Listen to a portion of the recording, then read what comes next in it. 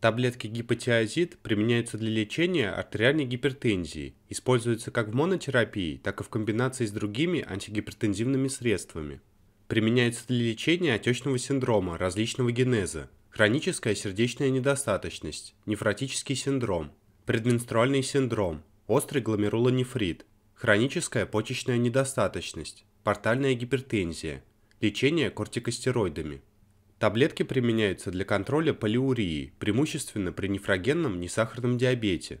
Применяются для профилактики образования камней в мочеполовом тракте у предрасположенных пациентов, уменьшения гиперкальциурии. Как принимать курс приема и дозировка. Применяется внутрь, после еды. Дозировка должна быть подобрана индивидуально. При постоянном врачебном контроле устанавливается минимальная эффективная доза.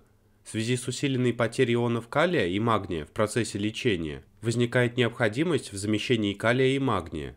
Взрослым в качестве антигипертензивного средства обычная начальная суточная доза составляет 25-50 мг однократно. В виде монотерапии или в комбинации с другими антигипертензивными средствами. Некоторым больным достаточно начальной дозы в 12,5 мг, как в виде монотерапии, так и в комбинации. Необходимо применять минимальную эффективную дозу, не превышающую 100 мг в сутки. Если гипотиазид комбинируется с другими гипотензивными препаратами, может возникнуть необходимость снизить дозу другого препарата с тем, чтобы предупредить чрезмерное снижение артериального давления. Гипотензивное действие проявляется в течение 3-4 дней, однако для достижения оптимального эффекта может потребоваться до 3-4 недель.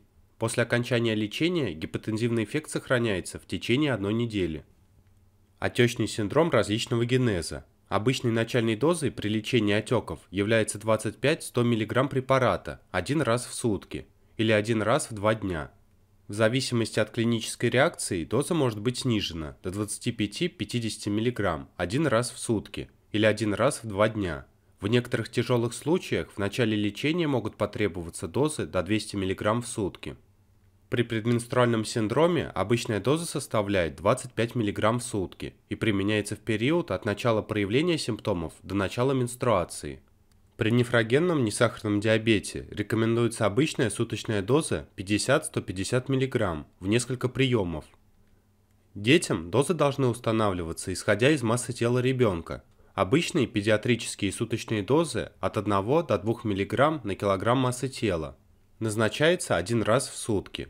Общая суточная доза для детей в возрасте от 3 до 12 лет 37,5-100 мг. Противопоказания. Повышенная чувствительность к препарату или к другим сульфанамидам. Анурия. Тяжелая почечная или печеночная недостаточность. Трудноконтролируемый сахарный диабет. Болезнь Эдисона. Рефракторная гипокалиемия, гипонатриемия, гиперкальциемия. Детский возраст до 3 лет.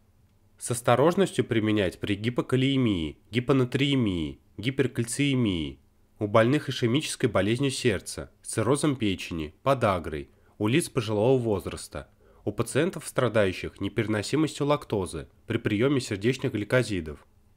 Применение при беременности и кормлении грудью. Гидрохлоротиазид проникает через плацентарный барьер.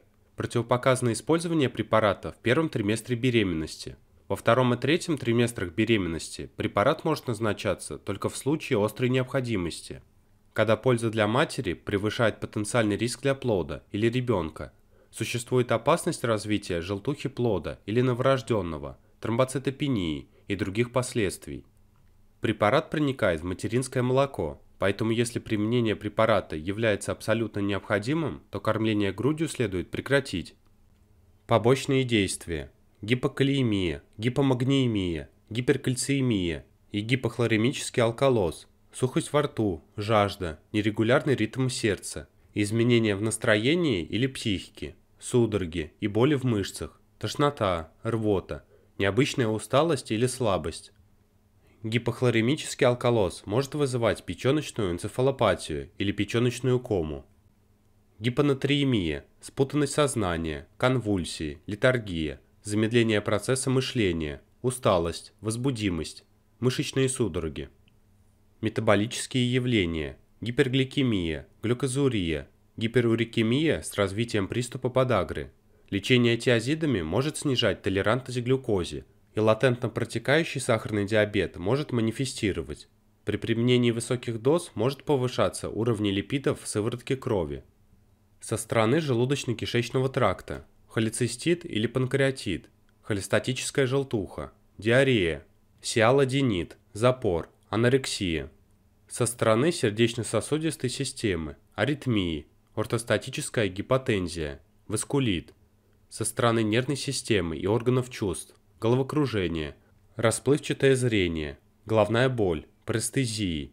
Со стороны органов коритворение, очень редко, лейкопения, агранулоцитоз, тромбоцитопения, гемолитическая анемия, апластическая анемия. Реакции повышенной чувствительности, крапивница, пурпура, некротический васкулит, синдром Стивенса-Джонсона, респираторный дистресс-синдром, фоточувствительность, анафилактические реакции вплоть до шока. Прочие явления – снижение потенции, нарушение почечной функции, интерстициальный нефрит. Условия хранения и срок годности. Хранить в защищенном от света и недоступном для детей месте при температуре от 15 до 25 градусов. Срок годности 5 лет. Из аптек отпускается по рецепту.